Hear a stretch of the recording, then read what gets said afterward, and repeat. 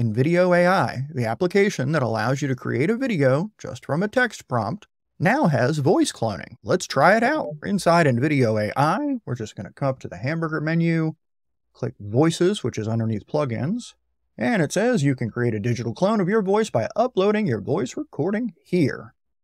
We will add voice, and it says submit a recording of at least 30 seconds, mention this line that gives it permission, uh, pause in between sentences you, like you normally would, and use high quality recording equipment. Okay, sounds good. And we can drag or choose from there. I happen to have a file ready right here, so I'm going to just drag that in. Let's see, 93 second, okay. This is my voice, I have the rights to it. It includes the permission, and it includes natural pauses. I don't know if I included filler words. Recorded using high quality equipment. Well, it's recorded using what I got, whether you call it high quality or not. All right, and it shows us a transcript of what we said in the sample video. In this case, I used just a sample script. I think I got it from ElevenLabs. So let's say done, because that all looks right. Looks like it understood what I was saying. And it's calling it user's voice, voice one user's voice. I think I would like to rename that and name it me, Bob, so I know who it is. All right, and then we will say use. All right, so it filled in the prompt box. This is the big open prompt box where there aren't any workflow settings in here but it filled it in with settings one, use my voice, but I'd rather work in one of the workflows. So I'm going to just come down here and click YouTube explainer. And I'm going to say create a, let's just say a one minute uh, YouTube video about, for the topic, I said things to do and see in Baltimore, Maryland. And then for the optional creative directives, I'm going to say make it casual and include some humor. We'll see how it does with that. Under these voice options, where you normally would pick the gender and then the style, I'm going to click this option that says my voice. And then, of course, the only option is the one I just cloned, which is that one.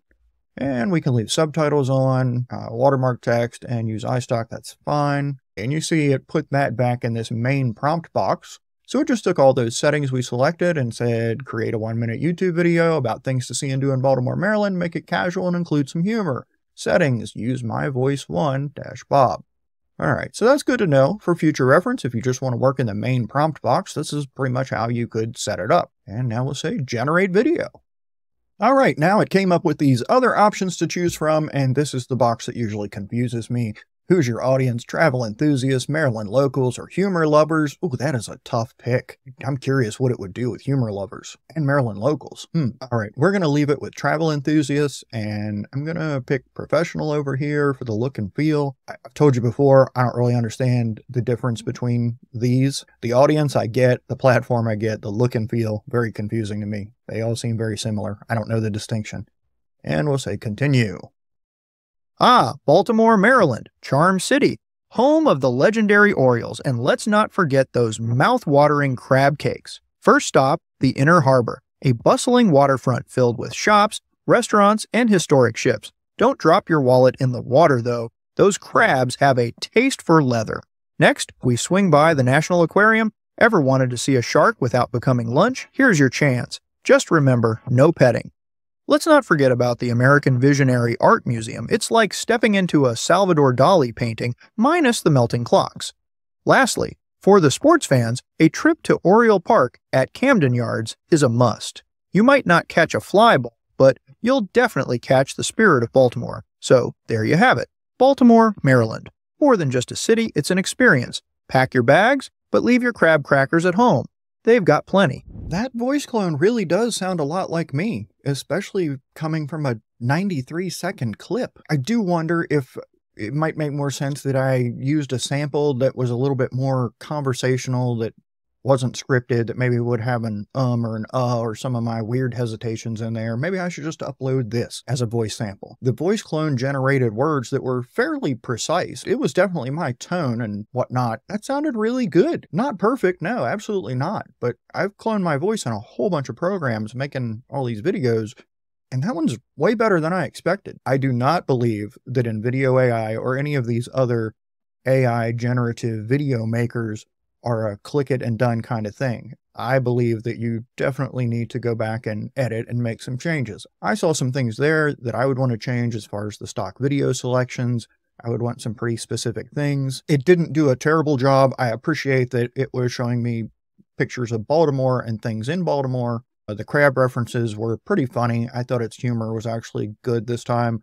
And AI really stinks at humor a lot of times. So if we want to make changes, I'm not going to get heavy into this because I've talked about it in other videos. When you just click that edit button, and if you want to swap out any of this media, you can click it. You see where it's being played, what words it's being played over. And if you want something different, you can type it down in the search box. And if you spell it right, it'll do a better job. And then come down here and pick whatever image you want. Click it, it'll replace. You can see up there it's going over top of it. Say apply changes. And that will change the video on that particular scene. And there it is. there's something about the script you want to change, click this edit button under the video, go over to edit script, and you can change whatever you like about that section of the script. And your titles and text overlays and all that are right over here on the right hand side. You can change those as well. If you don't want to edit things manually or one by one, you can use this little AI command line to tell it specific things you want it to do, like delete the second scene, it's not really relevant, or change current stock to a video drone shot of a forest. I wouldn't want to do that because we're talking about Baltimore, but it gives you an example of some of the things that you can do. I've had mixed results with the AI instructions here, so I prefer to just hit the edit button and go swap things out specifically to fine tune it the way I want it to be. You can also, of course, generate your video by providing it with a URL of some place to specific that you want it to reference, or you can provide your own script and say use exactly this script. To use the voice cloning, it does require the plus plan or above. You won't get this on free. It has to be plus, which starts at $20 a month, which looks like it gives you two voice clones. And then for the max plan, you get five voice clones. I'm excited to see that two voice clones deal because that means I can maybe I can add another one that uh, to test out my conversational theory and see how that works out without having to delete this one that really sounded pretty good. If you just want to try it for a month and not commit to a whole year, you can switch this to monthly and they don't really gouge you for trying a month, so it's 25 bucks instead of 20 bucks a month. But that's good to try it for a month and see, you know, if you can produce some stuff out of it if you like it. If you've tried the voice clone thing here in InVideo AI, please let me know how it's working, what you're seeing, and what you're finding. Please, if you're going to pick up one of these tools and make an AI generated video, make it right. If you know the subject matter of the video you're making, please read the script, listen to the video once it's done creating, and make sure it's accurate. And if you don't know the subject matter, look up some things, do a little research, make sure it's right. Let's not put out garbage. Thanks for watching.